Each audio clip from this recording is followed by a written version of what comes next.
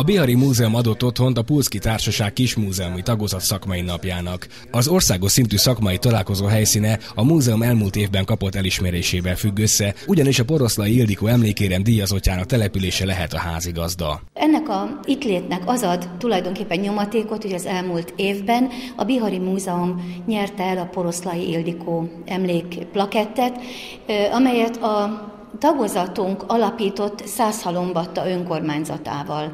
A Kismúzeumi Tagozat korábbi elnöke Poroszlai Ildikó régész volt, a Százhalombattai Matrika Múzeum igazgatónője, aki fiatalon váratlanul meghalt, és úgy döntött a tagozat, hogy minden évben javaslatok alapján olyan kis múzeum nyerheti el ezt a szakmai díjat, amely évek óta, évtizedek óta kiemelkedő múzeológiai és közművelődési tevékenységet folytat.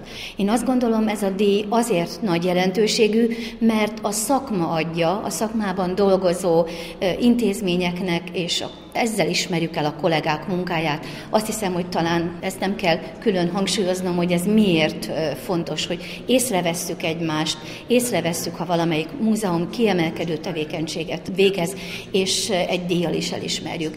Tehát a mai konferenciánknak az egyik legszebb pillanata majd az lesz, amikor átadhatjuk a Poroszlai Ildikó díjat, a következő hát, jogosultnak, amely ebben az évben a Bonyhádi Völgységi Múzeum lesz, és Szűcs Zoltán igazgató úr veszi majd át. A szakmai programok, előadások témája többek között az elmúlt időszakban a közgyűjteményi intézmények fenntartásában történt változások voltak. Most azért is különlegesen fontos a téma, hiszen jól tudjuk, hogy az év elején, az elmúlt év végén és az év elején a magyar múzeumi szervezetek, a megyei szervezetek felbomlottak, megszűntek, tehát az egész magyar múzeumügy átalakult.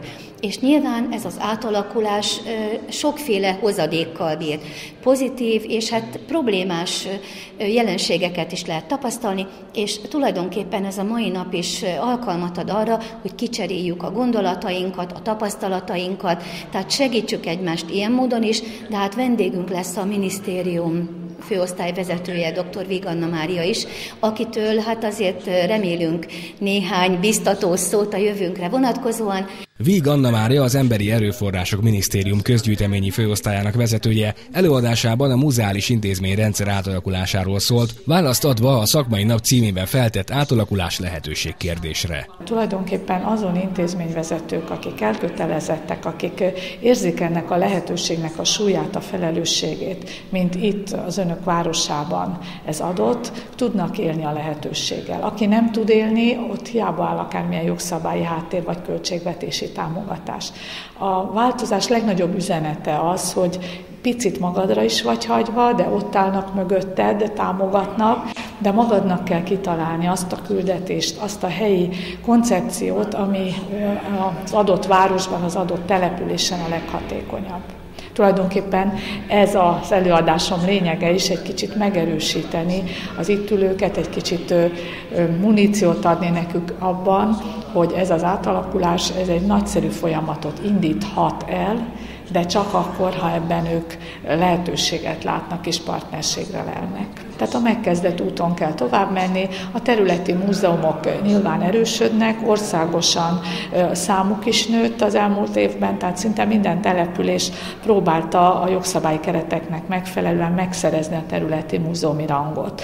Ha sikerül, akkor egy mintaprojektként Beretyóújfalun a járási múzeumi funkció is elindul, és majd ennek a mintaprojektnek a tanúságai alapján tudjuk értékelni azt, hogy ez a modell mennyire életképes, mennyire kell ezt országos szinten is kiemelten menedzselni akár egy helyi, akár egy járási múzeumnál lehetséges fogalmként használjuk, akkor ez az önkormányzatoknak azért, mint fenntartó, milyen szerep jut és hárul? Ez egy nagyon jó kérdés. Az egész átalakulás lényege az, hogy az önkormányzatok felismerjék, hogy milyen nagy kincset kaptak, és én úgy érzem, hogy itt az önök városában ez nem egy új keletű felismerés, hiszen még a megyei rendszer keretei között is a lehetőségeikhez képest mindent megtettek. Most viszont valóban a kezükben van a kincs, vagy még inkább gyarap gyarapítják és, és a közszámára hozzáférhetővé teszik, vagy bezárják.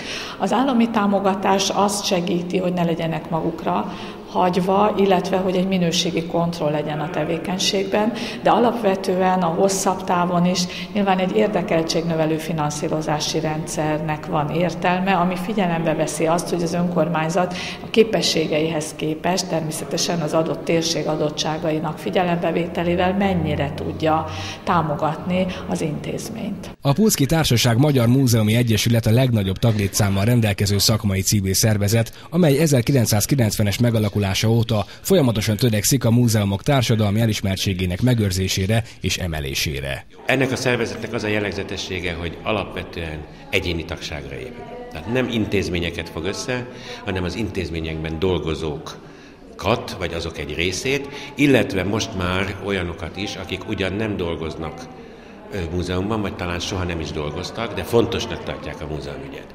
Tehát ez egy egyéni tagságon alapuló szervezet, amelynek egyik legfontosabb feladata természetesen a múzeumban, múzeális intézményekben dolgozók képviselete, szakmai érdekeinek a képviselete, tehát részt veszünk jogszabályok előkészítésében, véleményezésében, pályázatok bírálatában.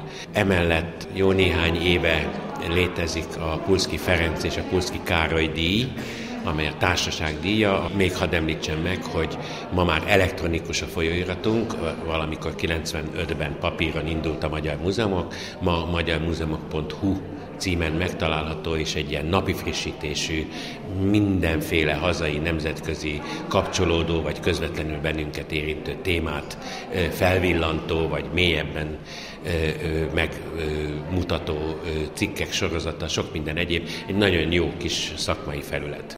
A szakmai nap résztvevőit köszöntötte dr. Vitányi István országgyűlési képviselő, aki tolmácsolta Halász János államtitkár szavait is, valamint Beretyói falu polgármestere Muraközi István is.